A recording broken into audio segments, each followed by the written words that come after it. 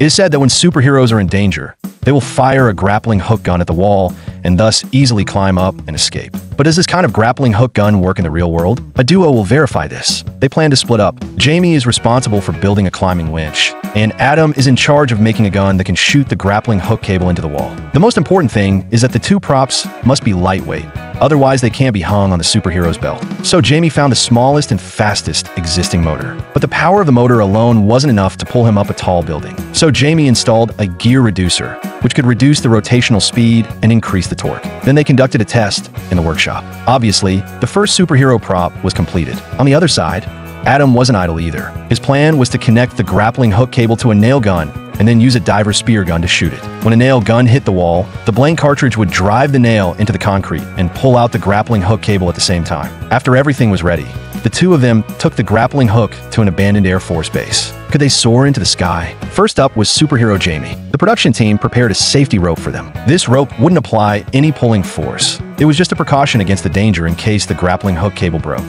Jamie started climbing up. He successfully reached the 10-meter-high roof within 20 seconds. But this climbing device didn't have a reverse gear. How was Jamie going to get down? At this time, he had no choice but to cut the rope. As a result, Jamie's nose was hit by the machine. Next, it was superhero Adam's turn, although this launching prop was a bit not up to the requirements.